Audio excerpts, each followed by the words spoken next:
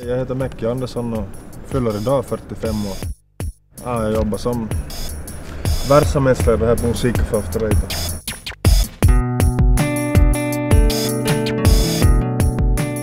Om man säger ett ord vad After handlar om så är det kanske människor trots allt. Det är väldigt socialt. Det är ett musikcafé där, som, det var grundidén att försöka få, få till stånd en, en mötesplats framförallt. Framförallt för ungdomar men också att ska vara en plats där som ger utrymme för kreativitet i alla former. Café är som sagt kärnan i hela vår verksamhet, hjärtat. Här får man ofta första kontakten med vår after eight. Förhoppningsvis kommer man tillbaka. Men det är ju en bra fråga vad after eight betyder, det skulle man måste fråga någon annan. Men jag tror att vi har en ganska stor betydelse. Bara så stör den kanske att det är många som tar after eight för givet, att after eight fixar det, after eight anordnar det. Att som en självklarhet, som inte alls är en självklarhet för oss, framförallt ekonomiskt. Att det är hela tiden en risktagning, att bara vår existens är inte självklar år efter år. Så att, men att ähm, ett behov finns i många saker vi håller på med, det vet vi om och det, det är ju en stor orsak varför vi håller på med vad vi gör. Givetvis att det är roligt för det mesta och, och tillfredsställande men framförallt att vi känner en bra respons till en, ett brett nätverk. Och, så det är en stor sporre. Mm. Jag tittar på fåglar på min fritid. Det skulle man tro. Mm. Stiga upp tidigt på morgonen och sticker ut. Men väldigt sällan och för tiden tyvärr på våren, just den här tiden. Så. Är det så att du får ensam eller? Ensam eller med nära vänner och alltså fågelintresse har alltid funnits i vår familj av någon konstig anledning. Alla är fågelintresserade, det låter lite spooky men så är det. Men det är att se på fåglar men samtidigt kanske det här lugnet och att få ensam och ensam men i stillhet i skogen och bara det som... Det, jag blir inspirerad av det.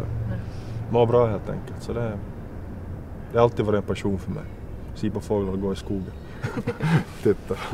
Så det är sant. Ja, vi har, ja, vi har faktiskt ett band. Men för tillfället heter det ju Mäcki precis som jag kallar så det är inte så originellt men jag, jag har inte hittat på något eller varför skulle vi ändra det? Så, ja. ja, alltså akustiskt blandat mixat med elektroniskt. Det är väl en sån linje vi försöker hitta som låter, vi tycker låter nytt och spännande och modernt. Så det, så. Jag tycker absolut vi är coola. Ja stil, framförallt stil och coolhet, det anser vi som viktigt. Mm.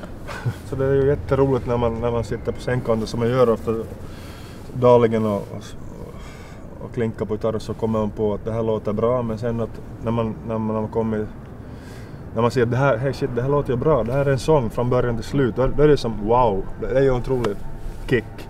Men sen också en kick när man presenterar kanske idén för band och sen tillför man en basgång eller ett ackord eller en takt som man aldrig själv, jag skulle inte själv ha kommit på att se att det är som olika pusselbitar så där är det.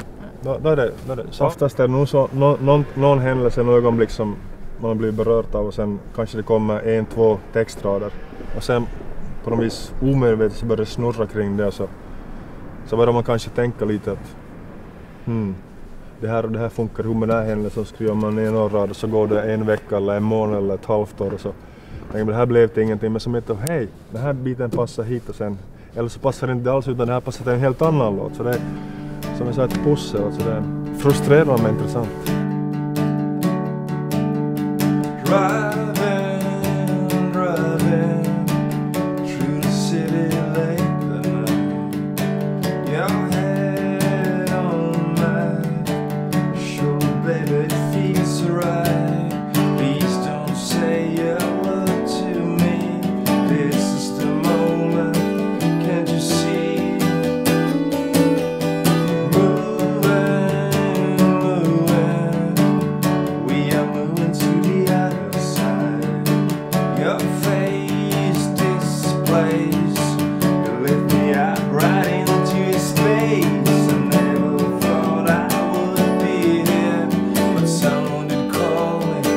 now it's clear